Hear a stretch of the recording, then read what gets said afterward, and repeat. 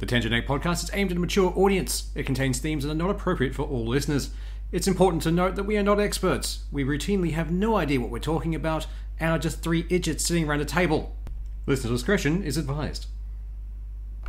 Quick note from editor Seth here. With all the uh, turmoil that came with Ben leaving and everything we had to do to get things sorted after that, and then John Doe starting, we kind of forgot to announce who won the Ukraine bundle. That person is Tom, by the way. We're going to be contacting you soon and getting the prize to you, which we very much hope you'll enjoy. Now, on with the show. Okay, this is the third time we've done this due to technical difficulties. Welcome to the Tangenetic podcast. it's We're doing Seth, well today. Swoosh, and John Doe here, and I believe Swoosh has got something he wants to start the episode with. Uh, primarily, I just want to have a bit of a collective chuckle at Disney finally maybe losing the rights to Mickey Mouse because fuck them and everything they stand for at this point. Like, going through animation and that kind of stuff, we learned a lot about Disney and Warner Brothers and all that fun stuff. And some of the fun facts you learn are A, Walt Disney had one of the largest submarine fleets in uh, the US at one point. Which is And- so fucking weird. It's so fucking dumb. And two was the fact that you know Disney has been messing with our copyright laws for so long, so they don't have to lose uh, Mickey Mouse. And recently, they they lost Steamboat Willie, the precursor. That finally hit public domain because I'm assuming someone in accounting got lax and didn't pay, you know, some senator somewhere to extend it again. But now that timer is coming up for Mickey Mouse, and they can't renew. The local That goddamn the local one. governments aren't letting them renew. They're Yeah. actively going against it, as well as all of their current land rights that they've got there. So, Oh yeah, where they can act as a sovereign state essentially. absolutely, they poked the fire, and now they're getting burned. Well, I mean, they can only get away with it for so long. It really was some pretty egregious shit. It has taken so long It- already. How has it taken this long for it to happen, though? Yeah, it, it's been left alone for far too long. Like they had to have been paying a few people. Like just just don't look in this direction. It's fine. Nothing's going wrong. But weird thing is, uh, all the stuff that's been leaked from employees of like Disney World and Disneyland and that kind of stuff, and what happens. Uh, one of my favorites is the uh, was Aladdin prerogative, which is uh, by the you know the ruling of Disney on their parks, no one is to um, lose a life. You can't murder anyone, uh, even to defend others, except for Aladdin's prerogative, which means the guy who plays Aladdin is allowed to murder people if justified by Disney. Such a weird thing. Right? Who Why thought? Aladdin?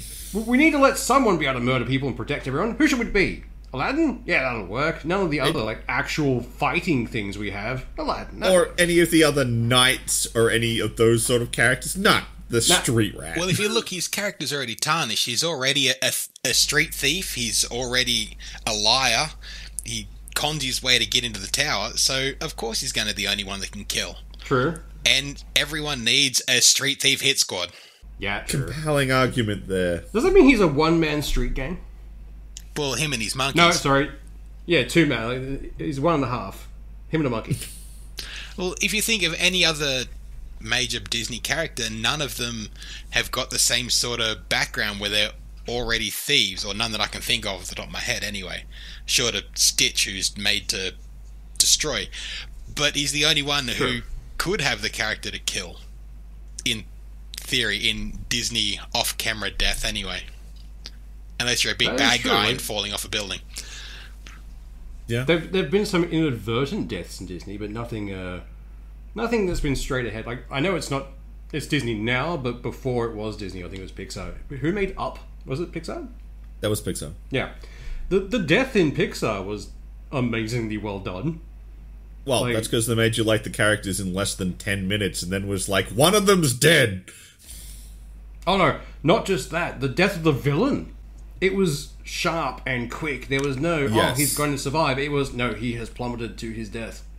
Yes. No yes. if buts maybe, that is done. Fuck. And that started the trend of Disney doing brutal stuff. Yeah. And then we started seeing more and more brutal deaths of villains from Disney. Well, I mean, there's a. I think they learnt a little from Pixar because Pixar really has that ability to make those really like, for lack of a better way, the way you put it, like sharp deaths. Like hmm. you feel it, and I think that's kind of what Disney's been kind of missing, at least more recently. Maybe not when they back when a lot of the movies that people think of as Disney movies were made, and those deaths were a little softer. They probably played a little better then, but you know now people like that definitive like comeuppance have been had. Yeah. Though a lot of the older Disney movies, they take a whole movie to make you love and enjoy a character, whereas Pixar do it in a 10 minute gap and suddenly you're invested in this character. There's their whole life in front of you. So uh, the death in a Pixar movie almost has to be short and sharp to say, this is dead.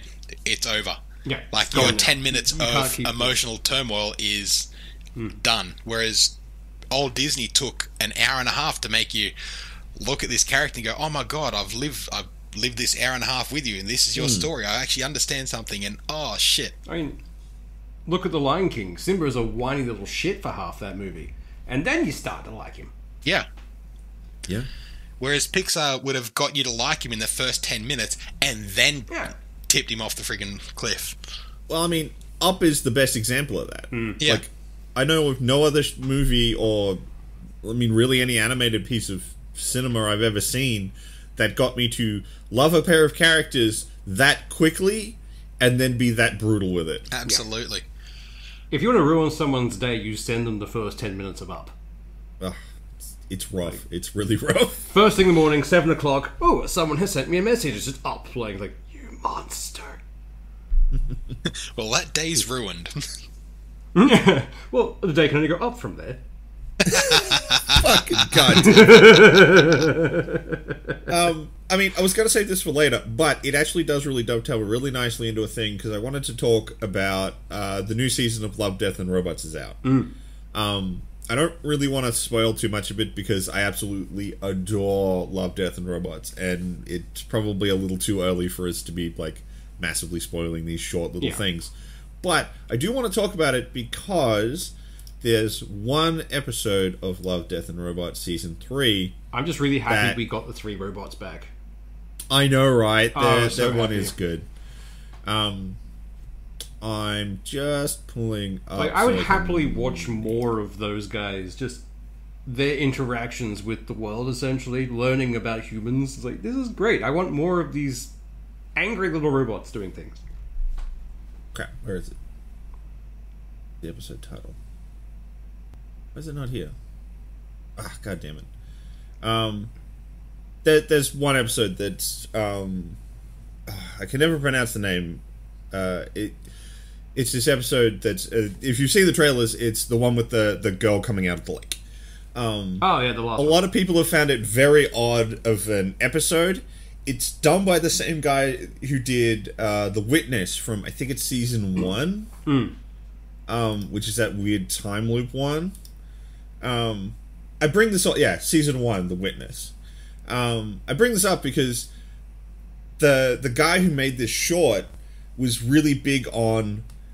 I don't have to say anything. I can do everything with visuals in the entire run of that episode, I barely understand what's going on. Same. I had no idea what was happening.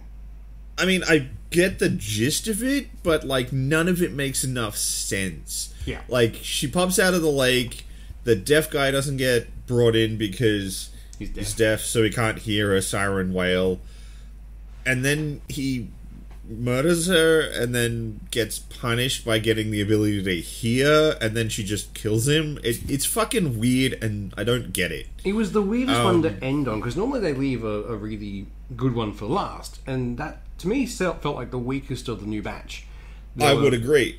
honestly, I would have ended on the crab one. The crab one was fucking amazing, and Yeah, one of the uh, Bad Traveling, episode Yeah. two. Um, that is an amazing episode. Like, that one's fantastic. Um, the very Pulse of the Machine is probably their best visual episode. I think they've had a Um, few people from the first one come back because the Pulse of the Machine reminds me of the the shark or the um the swimming one from the first season where the the guys like, yeah, in the desert yeah, it floating around. It's same company. Same company did that one. Uh, what is it? Uh, Fish Night, I think it is. yeah, and the bear um that one is the same guy who did the Dracula one. I'm pretty sure. Yeah, yeah. Um, uh, God, can't even Kill Team Kill. called.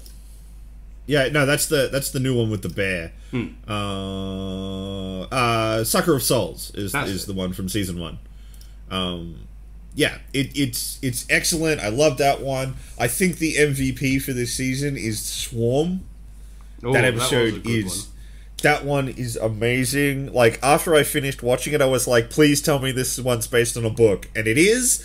But the book stops at the same spot, so Ah. there's no more. No. Ah, it's so good. Like if you could watch only one episode, as much as I love the three robots, if you could watch one episode from season three, I'd tell you to watch Swarm. It is the best episode. I loved Swarm, but I actually really enjoyed the one that came after it, which is the one about the rats and the, the farmer trying to, to get rid of them.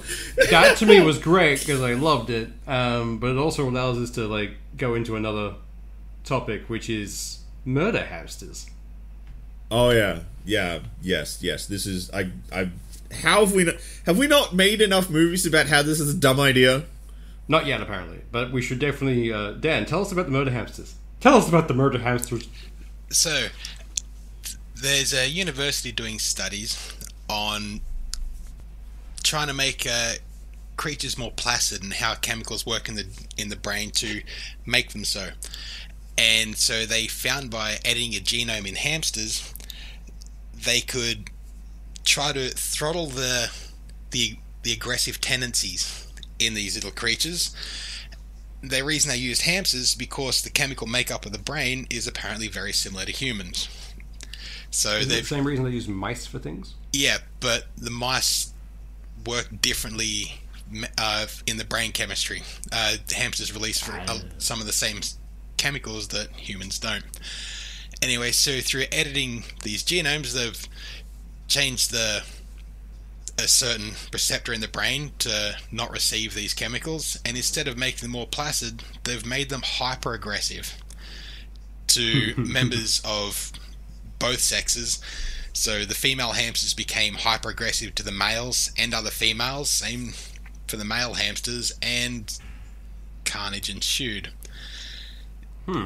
If this isn't a tale that has been told in many movies, media, anywhere I in sci-fi, I don't know what is. This is just The stupid. first one that comes to mind is uh, was it 28 Days, where it starts with a monkey biting a guy. In this case, this would be a hamster bites someone. Oh, yeah. You got rage zombies running around, like without. you know, that's just going to happen. That's how we're all doomed now. But then Look- there's this is the exact story of the Reavers from Firefly. Like literally the exact things. Well, we tried to make them placid, but some of them went hyper aggressive. Like, guys, stop it. Look, the the the core idea of doing some some gene alteration isn't inherently bad. Hmm. There are like legitimate uses for such a setup, but come on, like we turned hamsters into murder balls. Really? That's you that that's what you succeeded at? We made things more brutal. See, the fun What thing the is fuck? W- when uh, John Doe sent it to us in chat, it was the whole thing. Yeah, like I, I'm worried about what they're going to do with this pacifism. Like I'm more worried about what they're going to do with the angry shit now. Like Yeah. I don't trust the government not to use that for evil. I would use that for evil. I would happily dose a bunch of hamsters and release them upon the world. Just a swarm. See what happens.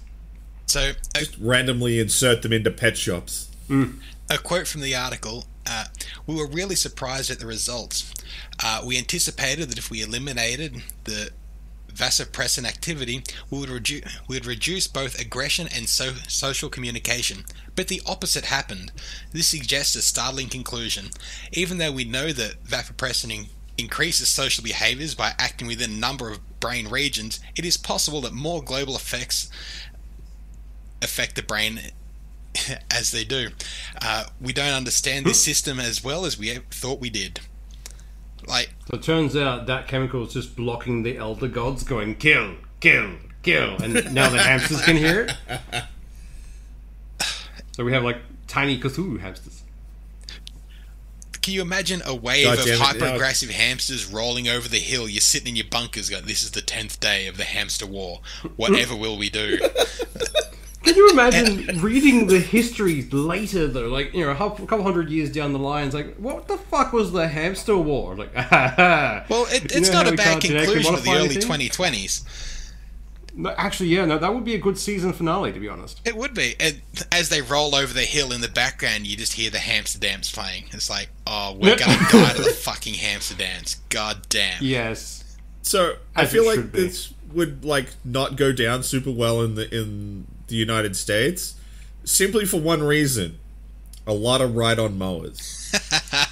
That is a good point, actually. Oh Well, no, it's like- the hamster wave. Get the mower, honey.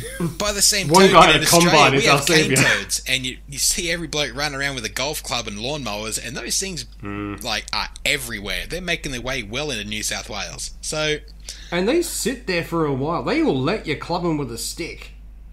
Unlike a hamster, which will be running around every five, every which way. well, but see, like the the key difference in this discussion is yes, cane toads are a good analogous thing to a hamster wave, but toads will let you sit there and hit them with a golf club. also, true. Uh, toads are actually surprisingly difficult to kill at times. Yes, though they are weirdly durable. though there's Australian birds, Hamsters uh, not so crows and hawks that have found ways to kill them. They don't particularly want to eat them. They land on top of them so they sit still, then flip them over, peck a small hole in their stomach, and the cane toad's first defense is to puff up. As they do, they Oh, so it just splits. squit their own innards all over the place, and the bird just flies away. Didn't Yeah, I can that. see crows or magpies doing that. They like They're vicious They are little buggers. little but wardens. goddamn, they're Oh, clever. yeah. But if you make Yeah, friends with them, friends for life. Like I can still wander around where I used to have a house, and the magpies they remember me. It's been like a few generations since. It's like ah, the legends tell of this one. We don't hack that one. Like, it was great. We used to feed them scraps, and then go wandering in the park, and you'd see everyone else getting swooped. Like just random families, all just having a nice day out, and then there's a bunch of us, you know, bastards in the corner. Like, yeah, no one attacks us. All for the cost of a, lo- a loaf of bread each month. It was great. During You COVID, uh, sacrifice this loaf of bread. during the, all the lockdowns, uh, I was working in the winery, and I came home one day, and uh, across the road from our place is a, a big oval, and uh, in the grass where they hadn't mowed was uh, a peewee chick. And uh, Ah, yeah. so I walked over and I looked around, and the, the mother was in the tree above it, squawking. It was fallen out of a nest. It still had all its feathers, but it couldn't quite fly yet. So I, I picked it up and took it home. We kept it in a shoebox and uh, went to the pet shop and bought uh, mealworms for it. So we fed it and just looked after it, watered it, everything till it could fly. And it still comes back. Now there's a mob of about six of them that land out in our back porch, and you can hand feed them mealworms. And every like last year there was four of them. The year before there was only two of them. Now there's four of them, and yeah, now there's six of them sitting out there that chip every friggin' day. So they remember. They're clever little buggers. Yeah. Oh yeah. Well, I mean, like a lot of birds are very clever, and then they're sometimes very cleverly stupid. I think we Oh, all absolutely. remember that uh, article about the kookaburra that ate so many snags it could no longer fly. yes. Is that stupid or is shit. that just who can pass up a snag? Really? Come on. Like Snag that and bread with a bit of its way onion. a bakery. You'd, you'd get me in a trap with that. Yeah, it's like I'm the possum not who broke into a bakery and they found him like a box of like donuts. Said, I regret nothing. you can kill me, but I, I have love won. it because it's like reclined back with the big fat belly and just smeared jam. It's so good. You can just tell us like you can kill me, but I have won this fight. Let's be honest. But like speaking of like getting me in traps with sausages, I'm not gonna lie, that's half of why I went and voted in this election. That is the trap. They get you in with the sausage. While you're here, throw a vote down. Eh, Oh man, I swear they got vi- the volunteers were getting pushy this year. It was fun. Oh yeah. We had a, a punch they up at one of our schools from the, the volunteers that turned up. We had a, a Liberal bloke turn up and a Labor bloke turn up, and both of them drank at the same pub on the same day, and neither of them agreed on policy, and they were into it. God damn, it was. I That went to vote fun. just for that. oh, this is you know snags, so you get dinner and a show. It's pretty fun. Absolutely, a makes it all worthwhile. Democracy at work.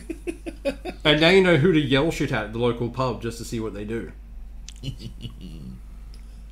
oh god. Okay, But that's so- done for four years. Yes, I'm very happy. Until local elections. So- Yay! Yay! They're not as bad though. Um, No, they also don't right, have so sausages. I'm. Hmm. I know, right? No democracy dogs. Got to rely on Bunnings How are you supposed to get me to vote if you're not going to give me my snag? You need a treat. You Um, need a reward for it. You go through to hell. Yeah. You Yeah. need a reward. Yeah. Then, then Look, that's I- the weird thing though, because you put that logic towards Bunnings having them every uh, every weekend as well. It's like, but now I actually like going to Bunnings. What is this? Now I get a reward Pretty sure it's why and Bunnings reward. did it. Yeah, double the reward. Right, now to change gears a little bit. And I swear to God, this is going to be the last time I bitch about this show because, well, the season's over. Um, it is like I want to talk to Swoosh about some stuff to do with the last episode of Halo. Which I have not watched. And I'm going to tell you the episode's kind of trash, and and the ending of the seasons is really not worth it. But I very specifically wanted to show Swoosh a couple of scenes of the last episode from his animation perspective because he did spend an awful lot of money to get that accreditation. I did. I might as well use it occasionally. So, um, I'm going to start by just setting a baseline. Like, this is how the CG can look in this show.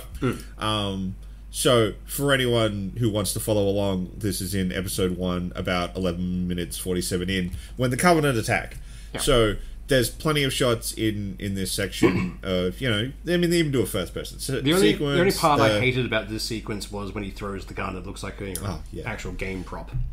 But the thing I want you to focus more on is the Sangheili. Hmm. They look pretty good.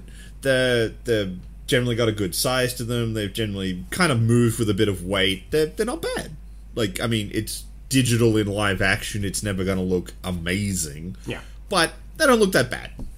So, that is from episode one. And I just wanted to show that to you just to get a baseline going so that when I show you the rest of this, you understand the fucking train wreck. I mean, throughout most of them, the CG's been pretty okay for the uh, Sangheili. They, they Okay, so oh, yo, yo, you fucking wait, buddy. oh no, This is a scene from later where a Spartan is trying to catch up to a spaceship that's escaping. Hmm. So I just wanted to show you this because the character really like. Can you see the lack of weight? yeah. They're, But they're they no longer. previously, actually, when they had them running along behind a jeep. There was the same kind of weightless feeling to them. I think the thing that helped is that the jeep was at least moving. Yeah, you had a, a reference.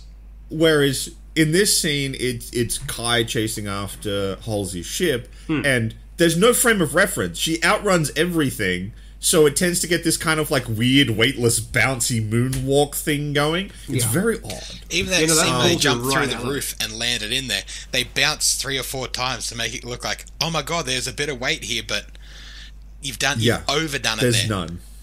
Yeah. Like, Yes. oh, I, Now, I, don't, e- I don't even hold on, want to watch you- this show anymore. It's not Halo. Ah, look, no. were it- it- were we correct? Did they eh, did they cuck us on the fucking Halo at the end?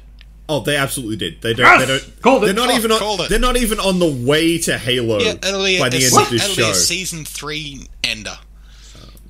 Fuck. I, are you kidding me? They're not even, not even on the way to the Halo yet. No, they they they have half a map. Fuck off. So it will be a season three. It will be, yeah. Um. Okay. So this is that. okay. So in this season, the last episode is on the Covenant homeworld. They they're not on High Charity in this this thing. They have this desert scene that they're part of. Um. Look at this fucking shit. Yeah. Like, how fucking empty and dead is this? Like, that right there is a no Battlefield one's 2042 map. yeah. But like, you can tell not that they're enough. just they're just on a sand pit, Hmm. and there's not like he didn't even step on anything in that shot. They just added in. It looks really dumb. But where's this? Like, just up there's this big sweeping shot right here. That is empty and boring. What is this that? this is them trying to show off the grand high temple of the prophets. This is what they made it look like. I've seen PS2 games with better shit than this. That looks like that old Quake map How is where this- you're uh, well above Earth and there's like the two temples and just the two paths Yeah. with a jetpack Yeah. in the middle. That's all that looks like. Yeah. Like a basic multiplayer But- map with no filler.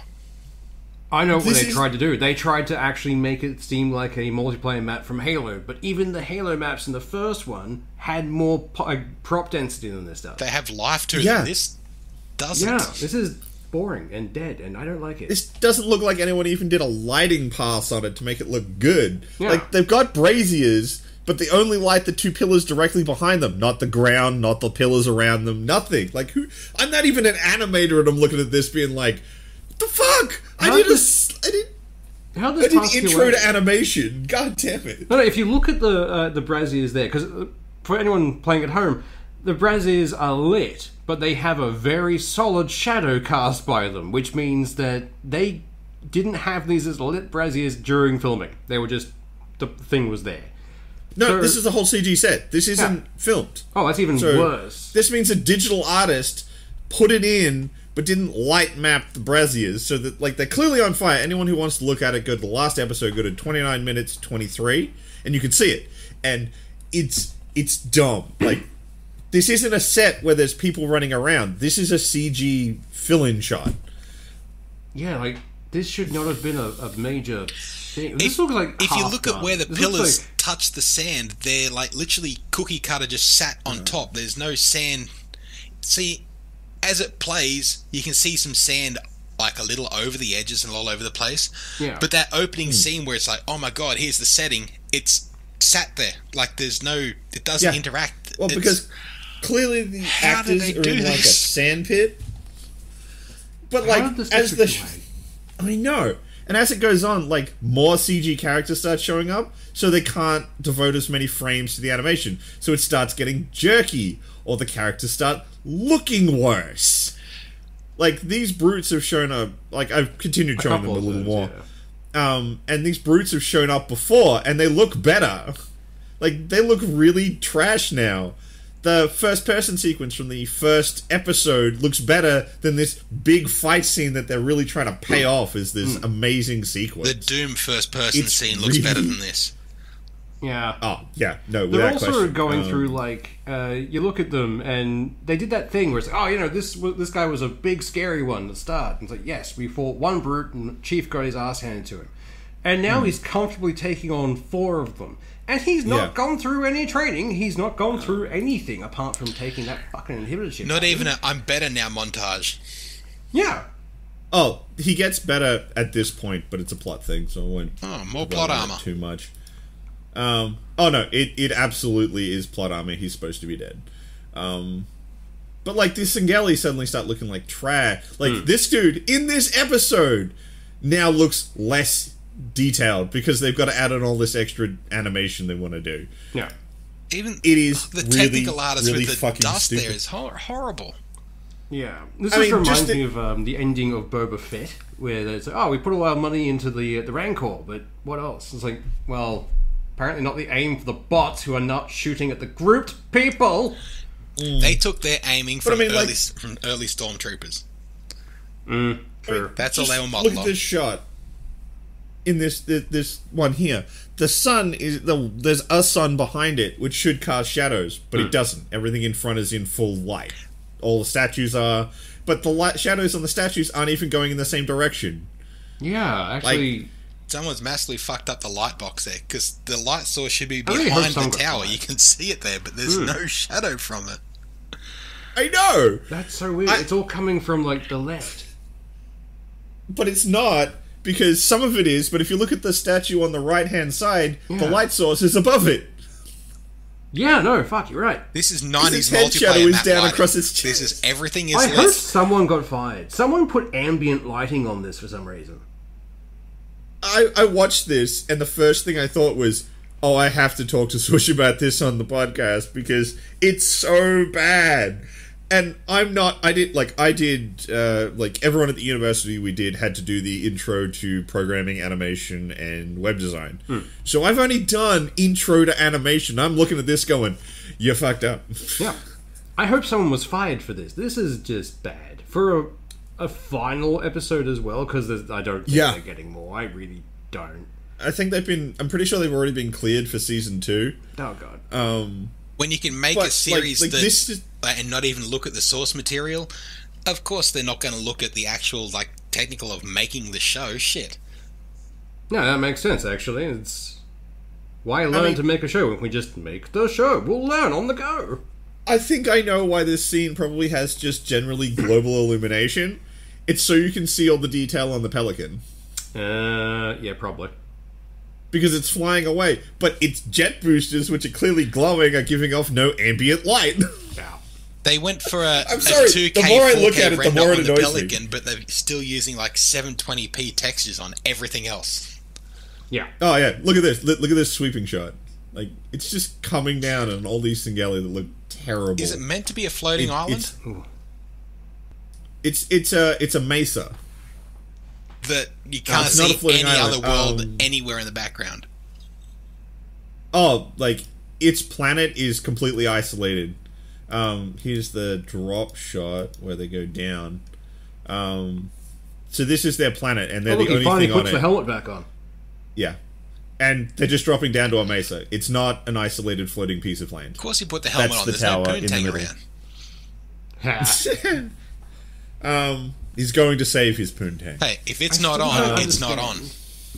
Now, I still don't understand how, like, why they had the uh, the renegade chick, the uh, what are they, rebellion Kai. chick running around. Kai. Oh no, no, not Kai. The the actual rebellion chick from the uh, first planet they were on. Yeah. I don't know. She doesn't feature in the last two episodes. She's not even going with them to Halo. Yeah, like her story is still open, which shouldn't have been there. We don't need a you know stand-in for the, the audience in this kind of thing. That's what Chief and the Spartans were. But ah, why there was such good source material to play with. If they had just done the Spartan training, I would have watched the shit out of this show. Yeah. Just Spartan watching training Halsey for different these Spartans and followed their story. Mm. Oh.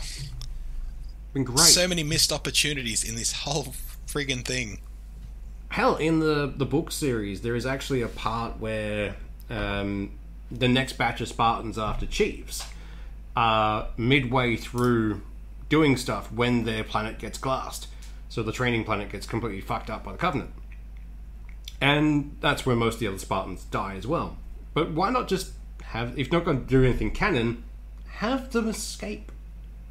Just get a bunch of Spartans who steal the younger generation of Spartans. Like, all right, cool, we're going to train you now. Or why does it even Uh, have yeah. to be the, the Master Chief generation, like as you've seen in the, the newer games? There are newer versions Mm. of Spartans. Why not follow a, a squad of soldiers that are going through and they're selected for the Spartan program? So the first season is them becoming Spartans, the latest generation of Spartans. Yep. They had I'd so many other opportunities. Hell, hell jumpers in general, they were a Absolutely. fun idea. The Start guys who off with a squad of hell orbit. jumpers. Yeah. The ODSTs are badass. Absolutely. Like, they are terrifying. It's like, what do you do? Oh, we drop from orbit onto things and shoot crap out. It's like, like, what have you been augmented? No, we're just base human. How good would it have been Yeah. the first episode? Like it just opens up with a hell jumper canopy, just straight down, screaming, big crash, and there's massive battle, and they're just running head Yeah. first into it. Start with a massive That epic scene, and you've got three quarters of the audience hooked in the first thirty seconds, and that's it. would've You follow. Yes. that squad through the battle, and then they're selected to become Spartans. Instead, we had a bunch of teenagers taking drugs. Because that's how Halo oh. started. A bunch of teenagers taking drugs. Yeah. Yeah. It absolutely was. And then getting murdered by the Covenant. It was just, alright. It was like. And then um, later on, she does more drugs to find out about her dad. And Her arc is nothing but taking drugs. That's all it is. Like she she took drugs, and maybe it's all just one really bad trip, like for this, this chick, because she takes drugs and suddenly aliens and you know Spartans. Oh God, why? so really, Chief isn't there. It's just her bad trip. yeah, and her story arc is just her re-upping. Just like oh, That's what this whole it's show raining, is. better It's like chug it. someone's got an idea of, oh, this is Halo, and now they're on a bad trip for the entire thing, and that's what this show is. At well, episode one of like season two is going to be waking up. Oh my god! Now we've got to come down, and then the rest of the next season is going to be them coming down, Mm. and that's it. Well, I mean, there is an entire sequence in the last episode where to get to the Covenant homeworld, they they have to go through this. The they figure out where it is because it's they they look at a system and go, "There's no planet there," and then Chief's like, "Scan it again." And Cortana, of course, goes, "Oh, there's actually a weird gravitational anomaly happening in this area that if you like pass it out, it's probably bending a lot of light, so you can't actually see into the nebula." And they refer to it as a, uh, I think it's a stained glass or a kaleidoscope. So when they're flying through it, it's just like fucking colors, man. See, that's where the budget went for all the CGs. Like, uh, colors, just all of them. We're freaking hit out, man. ludicrous There's speed. planets in the trees, and they're just everywhere, man. So they basically just went ludicrous speed, didn't they? It's like, we have to get this planet. Ludicrous speed! Oh, kind of. Like they go in and like the this is like Cortana's on their little console because they're like they can't see the gravitational anomalies. So hmm. Cortana's like, I'll tell you how to get past all the gravitational anomalies so we can get to the other side. Hmm. Halfway through doing that, she cuts out and can't talk to him because the console's fucked up. Huh. Do either of you see the problem here? A little bit. yeah. Like, uh, So, how are they not a smear on the side of some gravitational anomaly? No, no. Cortana's surgically implanted in this series. Oh, right. How does she stop Fuck. talking to him? she's part of his head. She should be the voice Yeah. in the back of his head no matter what. She Yeah. can't I disappear. Yeah. forgot they, they made her surgical this one. There, there is a reason for that. I can tell you what it is. Right. the idea is that Halsey didn't want John. She wanted what he could be. Hmm. And by surgically implanting Cortana, she can fully take him over. Yeah. That's the Which- whole point. That's why she had to be surgically implanted. She couldn't be a chip because she is supposed to wholly and completely take him over. The weird thing is, Holly just seems cartoonishly evil in this series. Like, and she was cartoonishly evil in the books. Let's be honest. She kidnaps a bunch of kids and leaves behind flawed clones so they die and no one questions. Absolutely. But the, the Spartans just- in the it's like, oh, games and the books up. are more compelling. Like, they're people Yeah. that have a reason to fight. Like, there's a reason to go through all of this shit. And they were never actually built to fight the Covenant, which is No, even they'll- funnier. Like, they were meant to be, like, They were built to put down pirate uprisings. just for normal people. They mean- wanted beings that could just, oh, we're going to walk in and now this building is gone. For yeah. Mm. a standard friggin' rebellion. Like, Like, and even some of the side stuff in the original books, like at one point, no, the graduation for the Spartans, once half of them been weirded out by either dying because they're weak or dying because surgery fucked up, um, they're dropped in the middle of the wilderness with nothing. Ba- uh, basically, bare ass naked. It's like, ah, yeah, you have to get back. You have to go and take over this this waypoint. Good luck, and off they went. And cuts to like three days later, and they're in like the bunker behind glass, like observing this just basically a little flag in the middle of a concrete room full of machine gun pods and God knows what else. It's like, oh, how much do reckon, longer do you reckon it'll be? It's, oh, we've got another couple of days at the very least. We can finish all preparations. And then, of course, they kick in the fucking ceiling, rappel down in full fatigues, every in, you know tactical gear. It's like, where the fuck did they get that? It's like, I don't know. And then they check later on. Turns out they ran across the supply line and just raided it. It's like they naked, like butt naked out of the wilderness. The Spartans took down a supply line, took all their shit, and ran. I would love to have seen that in a in a show. It'd be Yeah, great. that would have been amazing. It would have been a hilarious end to a first season. it would have made Yeah, them an actual character people wanted to watch. But that's source Right. material, and we don't need that. I am actually really annoyed that I was correct in my prediction that they would not s- like step foot on Halo. I, I told you I- that'll like- be a season three thing at the earliest. Hmm. Season two I've will be finding the of that rest of the map, and then there might be a grainy image in the last episode of season two. Season three will be the travel two. You still won't be on it at the end of season three. It'll be as a an image in the background, and that's all you'll get of it. That Yeah. And then that's what If they're banking on a season gets four. shit canned, They're banking Yeah, on a if- season if- four for that. they definitely are. If this series gets shit canned by the next one, we will never see a Halo in the Halo series. No. We will be as the show Apart from his floats up to heaven. tripping. That's about it. Yeah, He's had it's a not couple going to like- heaven. Let's be honest. He's had a couple psychic projections to the Halo ring, but that's Hmm. it. That's that's the sum total. And the show implies that that may not even be real. We have seen more Halo rings in Moonfall than we have seen in the Halo series. Yeah. Yeah, because in Moonfall, the moon's fucking full of them. How did title's how did accurate. this get three seasons and Firefly got one? I know, Uh, right? yeah, Fuck. yeah. No, There is no it's, uh, justice in the Oh, there isn't. There really isn't.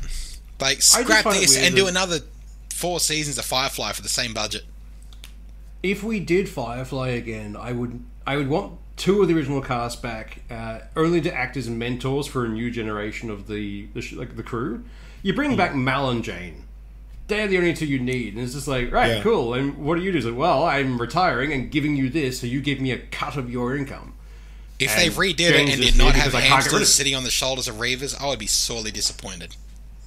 Yes. the Reaver that wins, like the, Reaver that commands everyone else, is just one tiny hamster, Yeah. little skull spear. Or is it actually the hamster?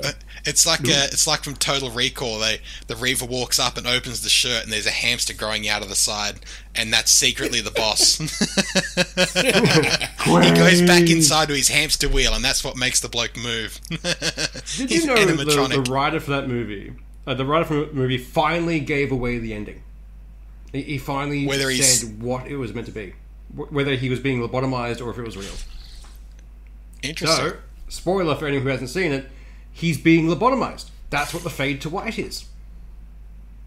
So the entire thing is when he has the, the agent come in trying to convince him to get out, it is real. He is trying to get him out of the simulation. Um, and by shooting him, it just sticks him in there forever. So they lobotomize him. Like, yeah. That's pretty cool. I never knew that. Good to know. That's more Well, useless trivia I can now spread around. Thank you very much, Swoosh. Loved it. You're welcome. I am full of useless trivia. It's great. I feel like all three of us are. Uh, yeah. Yeah. There's I- plenty of yours- unnecessary knowledge. Oh yeah. If nothing else, I will be happy if this podcast forces more people to watch Soldier, and that's about it. I'm done. if I can force more people to watch that movie, I'm good. Well, I mean, like, I think the thing we're all going to be talking about next week is going to be Obi Wan. Yes, Yes. that comes out very soon. That comes out either Friday afternoon our time or Saturday. I like Probably Saturday. America time's a bit.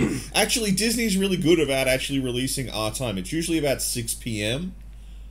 Um, but it's still America, and I usually base everything America time on whatever the next day is. yeah. I'm kind of um, hoping Disney is good about it. plus Yeah. one.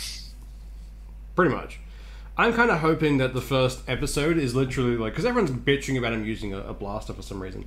I just want to see him light up the lightsaber and go, "Oh, I should not have done this." Ah, and that's what prompts the Inquisitor to No, come no. down. The first episode needs to be him taking his lightsaber and putting it in a fucking box. Yes, just away so it can't be touched. That no, even better. He does that and then sits down, and starts reading like you know a newspaper or something. Just to, he's on his way and just diving out of a window. Then you see Darth Maul knocking the door. Hello, can Obi Wan come out to play?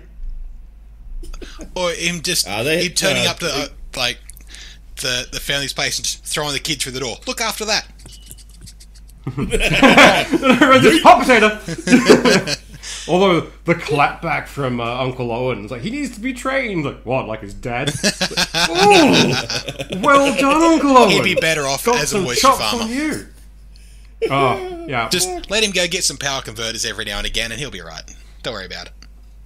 oh yeah, it'll be fine. Look, man, I'm just happy that like like most of the Disney stuff's been really good, and particularly the Star Wars stuff. Big fan of Clone Wars. Bad Batch was great. Mandalorian's been really good. Boba was only maligned because for some reason this was really stealth 3.5 fucking uh, Mando. Um, so I'm expecting good things. I'm I'm looking forward to next week not coming on this podcast and going. So the thing I've been watching fucking sucks. Yeah, yeah. Absolutely. I'm absolutely excited to come on and be like, it's really good. I want more people to watch it. Be great. Although speaking of things that more people should watch, we're getting more lower. Uh, was it lower deck soon? oh fuck yes. That's gonna be great. Oh my god, John Doe, have you watched Lower Deck? No, I've been meaning to. It's on the list, Ooh. and it's one of those things. It's like, oh, I need to watch that, and then I start playing a game, and it's like, uh, yeah, I should watch that. About that, actually, That's fair. that game. That sorry, that show has ruined me for the new Star Trek season, which is the um, Strange New Lands. Strange New Lands. The reason being, the Starfleet badge that they have is the original Starfleet badge, which is Well, yeah, what a character in Lower Decks is based on. Badgey is the original like Star Trek badge. So every time that fucking se- like, that title comes up, all I can hear is "Hi, I'm Badgey." I'm like, ah, Look, like that show is is excellent if you have never watched Star Trek because it's just a really good, well comedy show. But if you happen to have watched a lot of Star Trek, I mean, I've watched Next Gen, um, Voyager, Devious Nine, Enterprise. Uh, there's probably more I can't think. I've watched a bunch of the movies. Yeah. Um, so I'm I'm a, I'm a look, man. I actually really like that movie. Bug off. Um, so so like I'm a big fan of Star Trek, and this show is great because all it does is go, "You're a fan. I'm gonna make fun of your stuff," Yeah. and it's great. Love It's good when they do so that and you can actually get a laugh out of it, not just I'm going to poke fun and you're going to sit there and cry because well, fuck you and everything you love. It's not poking fun at the fans; it's poking fun at the show. Yeah, and I'm okay which with that. is cool. Which is. I I like that, but I also we're getting more Orville in like a month or two uh, because that's been dropped, and it's like I'm I'm super keen for that. I know I shouldn't be, but so far they have not let me down at all. I'm like I don't want to get too hyped just in case this is the one that fails, but at the same time, I'm getting more Orville and I'm happy. Given that they've managed to have that show not only be like more comedic, but still have some of that hard hitting shit from Star Trek, it's mm. just like holy crap. It's like And- moral conundrum, but also jokes. Yeah, well, I mean, but like, they know when to not do the mor- the jokes. Mm. they can actually Uh, stay like, on the mild the, the hitting point without it. Yeah, Well, I think Being the, degraded the best by example of that comedy. is, hmm? yeah, hundred percent. I think the best example of that is actually toward the end of season two, where they have all of the the robots uprise. yeah. and they don't play it for jokes. They play it straight, like it's important, like this is dangerous and we need to deal with it. It's not, oh, I love, love funny robots. Yeah, you could always tell in that one when things was getting serious because they would not be making jokes. They'd actually switch Hmm. to no, no, we're, we're an actual captain. We're going to do the thing now, uh, Yeah. and then they do the thing. But, But I just like the fact they had to- Kermit the Frog there as a desk toy for so long, and no one questioned it until like halfway through the second season. It's like, what? What is that? Ah, it's Kermit the Frog, a great leader from Earth. I'm like, that's all we needed. I like this. Yeah. But I mean, like, they, they know how to do, uh, like, even then, they know how to use comedy for a serious scene. Uh, when the security girl leaves and she leaves him a jar of pickles, it's from the first season. It's a joke reference, but now it's being used as a goodbye gift. It's actually using a joke in a clever way. It's so. I can't believe this shit comes from Seth MacFarlane. Yeah.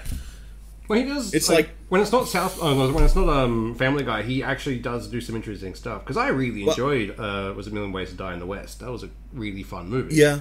Uh, like he can do good stuff, but it's hard to to remember that Hmm. because most people think of him as the, he's the Family Guy guy, he's the American Dad guy. He does these dumb shows that are all just like throw jokes at wall, but he can actually do a really good show. And apparently, he's like a massive Star Trek nerd, so Yeah. that's part of why this has been like a love project for him. I just liked the And- fact that the characters act like real people.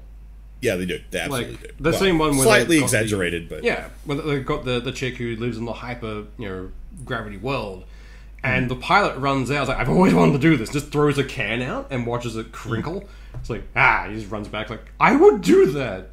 I would happily do that if I was in that kind of situation. Like he'd come back with a pile of flattened things and just throwing more shit out. Yep. Yep. Hundred percent. Ah. It's really good. Like that is an amazing show. Um, you know, more, sh- more more shit for John Doe to watch. I've, Yeah. I've watched the first season of Orville. I don't think I've seen the second yet, though. It's one of those things that second one tend to is pretty fall fun. by the wayside. That's fair. That is very fair. I'm, I'm not going to criticize you for not watching everything. Not even I watch everything, and I watch a lot of stuff. Yeah, I play uh, I far too many games to watch everything. I need to Yeah. manage my time a little better. Dude, preaching to the fucking choir. You know what? I think work hours are gonna have to get cut back. I still need to play. I still. They're interfering with like everything. yeah, it- We work or just adopt sleep. the work. Yeah, we just to adopt the four day work week so we can all get some gaming in. Yeah, Like, absolutely. I, I agree wholeheartedly. I'm, I'm all for that. If you're in the next Actually, election, someone I'd sent vote. me. Yeah, uh, I, I someone sent me a thing recently which I have to fact check it, but it was apparently um it was like we work more than medieval peasants did because even the guys back then realized we have to let them have a day off every so often so they don't fucking revolt. Like I need to fact check this, but that sounds about right. Uh, There's something in my brain that feels like that's correct.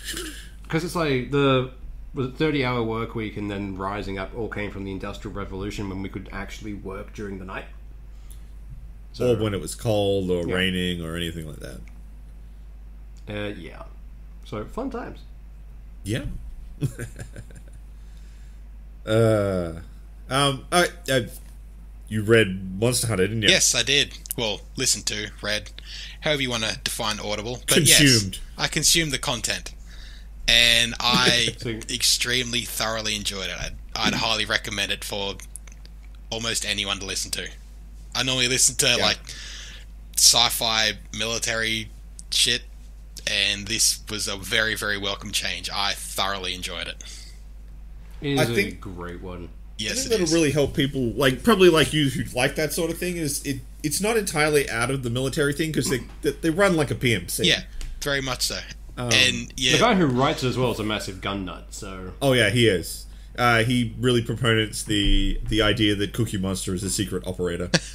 yeah, I, I just love the fact that um, like was it anytime you guys have one of the rants about guns, like it has these things and these things, and it's like. I have no idea what's going on, but at the very end of it, he has a little tagline. It's like, for those who don't know about guns, this is a really, really good gun. Yeah. Thank you. I had, Yeah. like, I like this. Now I know what to think. It was it the um, the shotgun that he has. Yeah. The, the Abomination. abomination. It's what's like, how many laws does this break? Oh, all of them. I set out to do it. I, but the thing that's crazy is, like, you already read the first book, and Yep. Like, like talking around actual spoilers. The whole the the kind of crux of the novel is like an apocalypse Yeah. in book one. and not just like uh, end of the world. It's time will no longer exist. So it's end of universe. It's the the old ones coming Yeah. back, and that is reality now. Deal with it. Yeah. And It's terrifying. oh, it's just well written. Every it leaves enough for you to question all the way through it. Going, oh shit, is this what's going to happen, or how are they going to get around this? And you. Mm. You get thrown into enough deep ends, you can fuck. How the what is going to happen next, or how is this going to pan out? Yeah, it is well But worth that- it. this is the first book, which means that you've at least encountered the elves. Yes, yes, I have. Elves are so good. The- The elves are the best. Defining the, those elves is odd because there's there's a character in the book. I love when they're driving there to explain it to him, and it's like, oh, because one guy likes Tolkien. Yeah, and, And it's like, he- oh, he's like, great, oh my but god, mate- there's elves, there's these hmm. mystical, lovely beings that like for for all this evil in the world, there also has to be some secret good, and oh my god, we're gonna go meet elves, and then he meets elves. Yeah. and that is I love, literally the like, best the, way to the put way it. you said that is perfect. it is the exact tone for discovering themselves elves in that Oh book. my Like I don't even want to say what they are because it's it's We need so more good. people to read this series. I want that series adapted properly. yeah, Like, yeah, absolutely. that would be it's, great. It's fantastic. But it's like that genre actually, modern fantasy, I quite enjoy because there's uh, Monster Hunter International, uh, Dresden Files, that kind of stuff. Mm-hmm. Yeah. Where you can have the uh, fantasy aspects of it, but in a modern society. So it's things like what, Oh, fuck. what happened to vampires when people started bringing in semi-automatic weapons? They got fucked. Oh, That's what happened. dude. in the in the My final favorite fight bit, like, scene of no that, context. there's there's Yeah. a, a vampire in that that's saying to the old ones like, "Don't go out there. You haven't fought a human in a long friggin' time. It, things have changed." Or, no, no, things haven't changed. We are still the old ones. We're going to go there and kick ass. And then they walk into Oh, the artillery fire. that's right. It's like you Yeah. dumb fuck. the ancient vampires Things have have been sleeping changed. They walk into a wall years. of lead and silver, and then RPG Machine fire. guns and oh. explosives. It's like this is what happens when you step out of society for a few hundred years. Shit changes. Oh, We'll be But fine. We've seen your- their your take on the cannons. You haven't seen what became of those cannons. yeah. I'm keen to see what you think of the next one because it dovetails off the current one and what happened at the end. Yep. And yeah, it, it's pretty fun. The uh, the Essentially, they, they more or less throw the main character under the bus to the old ones. I love it. well, the uh, the epilogue of the first one is um, Hmm. they they asked like why didn't when this all kicked off why didn't you just nuke the whole thing? And they go we tried, and then the epilogue is them trying and what happened and how it all gets thrown back on the main character and Yeah. ah, it That's just sets basically the what whole thing up to book. you're all fucked. Yeah. You punched an all, basically they punched an Orban in the face enough to make it hurt, and all he got was one name for it. It's the name of the main character. yeah, So it's like, well, I'm gonna fuck that thing up. Like, whoa! Uh, it's, it's they're wonderfully written. They're so fun. Um, yeah, like absolutely keep diving on those. Although swoosh. Uh, speaking of urban fantasy books, I think there's one you've never read called Ghosts and Magic It sounds by familiar, but I have not. by M.R. Forbes. I think you'd really like it. Hmm. It's got a bit of a Dresden Files vibe, except the whole gist is the main character is a necromancer. Nice. Um, and in this setting, necromancers are like fucking illegal. You're not supposed to make necromancers because in this setting, if, for you to be a necromancer, you have to be dying. huh. So the Oh, main I character, remember you I- mentioned this one a while ago. yeah, when I read it, because like it really gave me these Dresden File vibes because he does a lot of like the same kind of like investigative stuff Dresden does, but because like I think he's got cancer, if I recall. It's been a while since I read the book. Um, there's actually four of them, uh, and, and so he's progressively dying and getting weaker. But as he gets weaker, he becomes a more powerful necromancer as he gets closer to death. And Nice. like all the other factions in the setting are like, wait, fuck, what? Did you send a necromancer? What the fuck, man? We're not supposed to have those. Who did this? I always liked. Yeah. Um, there was like one book specifically in Dresden Files dealt with necromancers and what they do. I really Hmm. liked their version of necromancy, where you have to simulate the heartbeat. Yeah. So the idea for that one was you could bring the dead back, but you have to have a drum or something there to keep pounding out a rhythm to make sure that it, in place of a heart, it keeps going. And it's like I like that. That's great because it just brought in some weird shit. I love the fact like all the other ones have really simple and make sense things. You know, like the dude who's just like drumming the book against the side of his leg the whole time. Hmm. And then, you know, in the heat of the moment, Dresden's man, Brett Dresden's like one man band. Yeah, like proper one man band. I love Butters. He's one of my favorite characters in that series. oh, Butters is great. But the fact one- that he's He's now a thing. Yeah, uh, so good, so good, so good, so good. there are some Oh. amazingly like crafted scenes in those books because the way that his writing seems to work is, whilst the books themselves are really fun to read through, they are all crafting to one or two specific scenes in a book. Like yes. Uh, there's one of them where they go on a heist in Hades' vault just to go and you know, because you do. Uh, one of his friends, a knight of the cross, who has a had a sword with the one of the nails of the cross in it. That's where he got his power from. Uh, he's retired because he basically got crippled, but they're having a bit of a standoff between a fallen angel who's just across a wooden fence from him and him. And It's just like, what are you going to do? Walk out here and hit me? At which point, an archangel who's just like looking after him touches the shoulder. It's like, go for it. It's like, what? I gave him my grace. He can walk again. And you just see him testing his leg out, like, get me my fucking sword. I was like, yes! But, Yeah, uh, yeah. Michael, he was a he was a great character. A friend of mine did wanna did want me to point out to you, John Doe, that there is a side series to Monster Hunter. Uh, you may, I think they refer- reference him in the first book. I can't remember. A character called Chad. Yep. Yeah, there's actually a set of books about Chad. Oh, nice. I'll have to go track those down as well. um, because they're they're pre the the actual Monster Hunter series because the Monster Hunter series refers to the Christmas party incident. Yeah. Um, his books are set before that, leading up to the Christmas Oh, awesome. party. I, I do like the um, the wall they had, like the remembering wall. Yeah. And like, when he's going through, he notices so many of them have the same date. Like, oh, Yeah. oh, what happened there? Ah, the Christmas party. Like, and that leads up to that's got to be a hell of a Christmas party. And you think, no, that's a wall of remembrance. Ooh, ooh, that was a hell of a Christmas party. And then you hear what happened. Is like, oh yeah, But like some of the side characters in those novels, like Agent Franks, um, Mm. who is the the fuckwit, uh, the thing he was dating before in the first Grant. book? Oh, Grant. Yeah, fuck that guy. and, and even he Yeah. racks off to Hollywood to be a, Hmm. a consultant. yeah, yeah. Ooh, that was a that was a hard. Like, there was one of those characters in the book. It's like, I hope you die, and then they, you know, they don't die. It was like, why? Just fall over dead now. Aneurysm. Just do the thing. Um, what? While I, I, I feel like we're gonna end up having a regular book club on this fucking show. I'd be good with that. Um, just, just one other one for your for you, John Doe. If you haven't looked into it, if you looked any into any of the um, Blue Wolf books, Blue Wolf, no. No, I've, I've mainly So, been the- I- military sci-fi. I haven't done a whole lot of fantasy. no, no, this is a military sci-fi book. Really? No, then no, I haven't. the idea is uh, some uh, uh, group that goes out into the middle of buttfuck nowhere and like I can't remember if it is that, but you know, like sort of like Afghanistan type area. Um, and they meet some natives and some shit goes down, and the main character gets the curse of the blue wolf, which essentially turns him into a giant blue werewolf.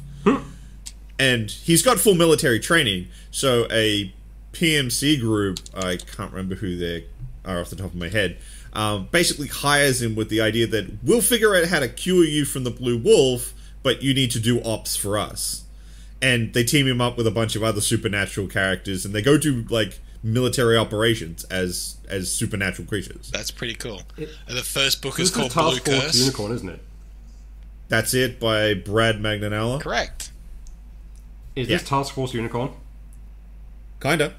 Uh, I still have a credit, so that Um, one is now purchased. All right, I'll listen to that one during Oh, the look, week. you you like military fiction, and you seem to be getting a little into this sort of like kind of magic sci-fi thing on the side. It's like, well, that's that whole series of books. Jam Excellent. is, is doing that one thing. have we forced John Doe into reading the Forever War yet? I've already read. I've listened to the Uh, Forever War already. yeah, Oh, it's a good yeah. one. I've- It is. oh, Yeah, that my favorite that was my use pre-audible. travel and time. I I acquired copies of those from elsewhere before I learned of Audible and thoroughly enjoyed them. I think I browbeat every person I know with like, read the Forever War. It's Any- really fucking good. Anytime someone's like, I need book re- recommendations, Forever War, Yeah, straight up, read the thing. it, it's it's amazing. I eventually convinced Dad to read it uh, because my old man never used to read much in the way of fantasy or sci-fi. He was always very much I'm a read technical things. So he read like Brief hmm. History of Time all that kind of stuff. Hmm. But uh, when he retired, he's like, I have nothing to do. I'm like, well, here's some books. So I got him hooked on the Dresden Files and uh, all of Terry Pratchett. So he inhaled Terry Pratchett and loved it. Uh, and then he moved on towards rereading everything done by uh, oh, who's the guy who wrote Hitchhiker's Guide? Um, Uh, Douglas Adams. Douglas Adams. But did you know he wrote something along the lines of a hundred or so books? He has a did- huge catalog. I'm not gonna lie. I think the only Douglas Adams book I've ever read is Hitchhikers. I, I know Well, the there's great was, five books I- in the trilogy. Oh yeah, the uh, trilogy in five parts. Yeah. I just like the fact that I, I got Dad into the um, Terry Pratchett, and he and Douglas Adams have a very interesting way of communicating. They take a very complex idea, distill it down to its base parts, and impart the knowledge very simply and easily. So it's really good. Um, but the same thing kind of happens in the Forever War. It's like, yeah, he'll like this one, where they've actually taken something that makes sense, a scientific thing. It's like, right, relativity, like that's how it works. To them, it seems like four months have gone by, but every time they come back, it's a few hundred years. It, it's it's amazing. Hmm. Like I, I don't even want to talk about it simply because like there, there's books I like, and then there's stuff like the Forever War where it's like this this book is really special. Like you should read it. Like apps. Like I know a lot of people like old sci-fi books don't hold up as well. Like even I say it. Like I know a lot of people really like Neuromancer. I I can't truck with it because it's it's so. Like I'm thinking about what the future's gonna be, and you didn't get it. Yeah. Uh, We last week we Um, mentioned uh, Ender's Game, uh, and yeah. there's five or six books in that series, and the the second one follows Ender after the whole Ender War, uh, titled "Speaker for the Dead." I don't know if either of you have read that, I have. and just taking that whole series and going in a completely different direction. I thought was Yeah. something I hadn't read in a whole lot of other books. Normally, it's oh well, this is an Hmm. action series, so it's all going to continue being action, and it's not. It is Yeah. well Yep. worth a read for a very big change of pace. Yeah, as I long as- enjoyed that like, one. It's really hard to recommend because it's like this first book is very different, and if you got into it because of the first book, you might not like the rest, but the rest is still really good. Well, It's one of those weird things. recently there was a a bloke on a current affair here in Australia uh, whose friend asked him to, as he was or when he was dying of cancer, to at his funeral read out a piece of paper. And it reminded me hmm. very much of Speaker for the Dead. And so during the ceremony, he spoke up, he stood up in the middle of it all, told everyone else to shut the fuck up, and read out this little note. And it was saying how his best friend, who was up giving a, a eulogy, had been sleeping with his wife, who was sitting in the front row, and just went through like he knew everything, and just this is a note. I'm reading it out. Everyone else can shut the fuck up, and this is the way it is. And since then, he's started a business. Hmm. So if you're on your deathbed or you have something to say that you want read out at your funeral, he'll go there and do it. And he's yeah, he's done everything from confessions to pointing people out or stating the truth of certain events. And yeah, he That- cops a lot of that flack sounds for it, but he's Oh, yeah. literally a speaker for the dead. And oh, it is Yeah. just such an interesting thing to have happen. Yeah, I kind of actually, want to it really find is. one of these things. Like, I'm assuming someone's recorded at least one. Oh, can you imagine being in the funeral and go, oh my god, the dearly beloved's gone. This bloke stands up and you're going, oh shit, this is about to get real. like, you can almost hear the record scratch. mean- like, what, what? Or if, it's like, got- if it happened at my uh, funeral for me, it was like, drama! oh yeah. if this day wasn't dramatic enough already, holy jeebus. Well, I mean, it's going to get more dramatic because as he gets known as the person who does Yeah. this, he's not going to be able to show up to the funeral. He's going to have to like wait somewhere else for a little bit and then sort of like burst in. a Kramer. He's got to stop like a master of disguise. He just starts doing like uh, special effects workshops to make him look like different. Or just sits in the middle of the crowd with Like- like the, the fake glasses and the funny nose, and there. I'm not me. Hmm. it was me all along. It's like process servers, and what they have to do is like, oh, it's like, are you this person? No. Like, God damn it. You can't look like a process server. You gotta look like someone different. Well, we've made it over an hour, so I think it's time Alrighty. we wrap things up for this week. Oh shit. All right, guys. Uh, we'll catch you next time. Cheers, mate. Have a good one. Have yourselves a good one. See you next time.